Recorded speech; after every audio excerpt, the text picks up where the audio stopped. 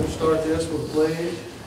I pledge allegiance to the flag of the United States of America and to the republic for which it stands, one nation, under God, indivisible, with liberty and justice for all. Pastor Shane, will you open us up for prayer? Dear Heavenly Father, God, we come to you this evening, and Lord, we just pray that God, you would uh, uh, bless each one of our town. Lord, I pray that God, you would uh, guide and direct uh, everything that is said and done tonight. Lord, would it be for the benefit, uh, Lord, of our town, uh, but Lord, more importantly, also to the benefit of the kingdom. In Jesus' name we pray. Amen. All right, we'll call this meeting to order. We'll start with roll call. Councilman Biggs. Here. Councilwoman Bates. Here. Councilman Honeycutt. Here. Councilman Smith. Here. Councilman Here. Uh, Before you, there's a set of minutes in the separate, uh, small packet there. I think everything was in order. I didn't notice any, anything out of line. Everyone had a chance to read over the minutes. Is there any additions or corrections to the minutes? Hearing none, they'll be approved as written. We'll move along to, uh, police report. Chief Hunt. Thanks, anybody going good? I have no police report this month because of computer failure. I've got something to announce. We graduated, uh, Oh. first female officer from the police academy. a Couple weeks, or, well, she's not went to gradu- graduation, but she's completed her certification. She is fully certified and working road. And we're proud of her and her efforts. Any questions for chief? Hearing none, we'll move along to the fire report, Chief LaFever. I don't have anything unless y'all got any questions. You received your hose for, all of your hose, that was grant funded, correct?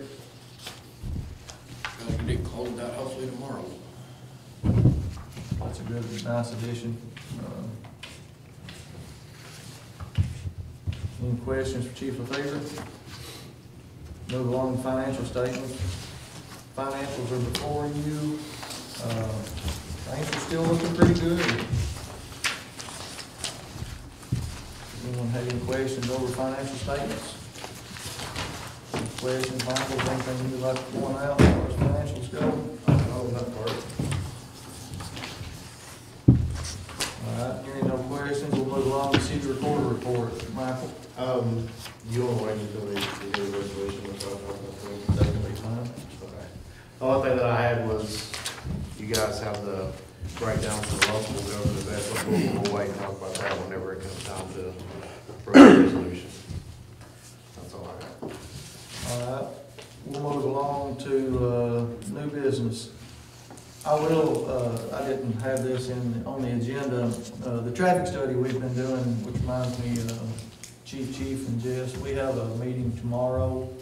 Uh, I sent y'all an invite, I think, I sent you an email. You probably didn't pay no attention to it, but I'll remind you of it. But anyway, they'll be coming, uh, I'll have to look and see what time, Jessica. I'll let you know tonight. Uh, I won't say it's at one o'clock, but they're gonna be wrapping up their study, and they should be at the, uh, April, I believe it's April tenth, the next meeting, to do a presentation over their, uh, report and their recommendations. It should be, uh, ten to fifteen minutes probably to explain kind of what they did and what their purpose is, and some suggestions that we can maybe improve, uh, one forty-one and fifty-three at the four-way there at the dollar store. Um, That's all I've got on that.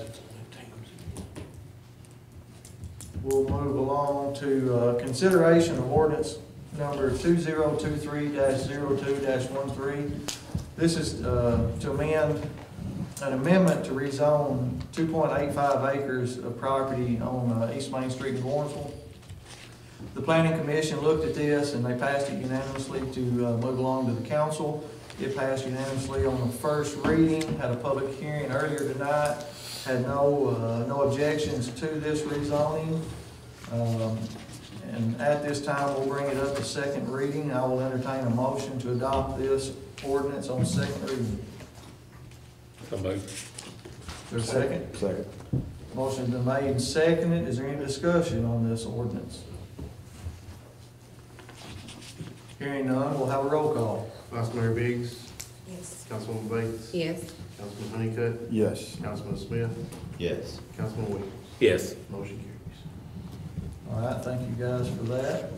We'll move along to uh, Re- Resolution 2023-03-13, authorizing participation in the local government investment pool. You have a copy of the resolution in your packet. There was a couple of typos, which Michael said on the official one, he was correct. Uh, I think you sent it to Attorney Winkler and got his blessing over it. Michael, you may want to explain. I had to get the what you got laid out. model from uh, CTAS because MTAS didn't have one. Therefore, if it says county or counties in your copy, which I think it does, I've corrected that to say municipalities, but that's the only place I could find it was on their websites. But basically what this does is it gives us authorization to do it pretty much as we need to. It doesn't have a dollar amount in it, so we don't have to redo it every time we want to. Uh, we do have to fill out an application and a form whenever we deposit money or pull out money. The other thing is the breakdown, this is what I went through, is uh, preliminary numbers to put in there. Uh, General fund, if we put two million in there, that would still leave us with one point two. And right now, the rate is four point five one, that would give us a return of a little over ninety grand. Uh, Sewer fund, if we pull out three hundred fifty, that'll still leave us a little over three, and that'll give us a return of almost sixteen grand, so. This is over twelve months, and we can have it next day if something blows up and we have to have it. We don't foresee anything in the near future. I know we've talked about paving and sidewalks, but paving, which we have the street aid fund for, we've got, uh, quite a bit of money in there. Uh, Mayor Mason is also seeking money and we're reaching out for grants on that also. We hope to have some numbers before budget time on what it's gonna cost to pave that. Uh, so we don't think that we'll have any big expenses. And if we put this money in, that ninety thousand dollars that we gain on interest could go a long way of sidewalks or whatever we see fit, and not, not ever have to touch the principal unless we come up, you know, with something that's major. So I, I think this is a game changer, especially for us. I mean, we can do a whole lot with ninety grand a year. It's a new cop car or two, you know, every so many years, so.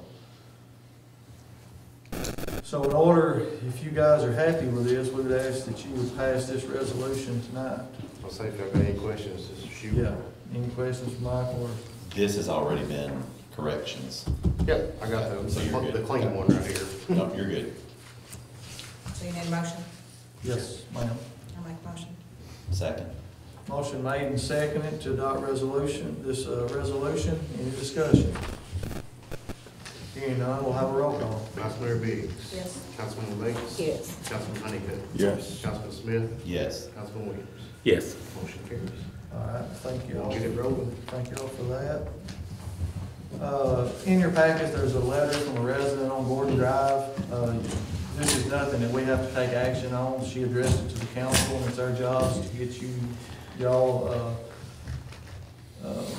let y'all be aware of it. Uh, I have talking with Chief uh, Hunt on that, and he's uh, taking the steps to uh, make sure that we step up a little bit of uh, patrol in that area. So I've just noted that. Old business, I don't have any old business unless y'all have any questions for me, a lot, so if anybody else has any old business?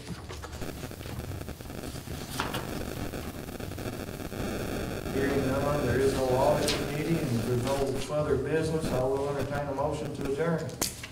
Make a motion. Second. Second. Motion made, a second, all in favor, say aye. Aye. Motion carried. Meeting adjourned.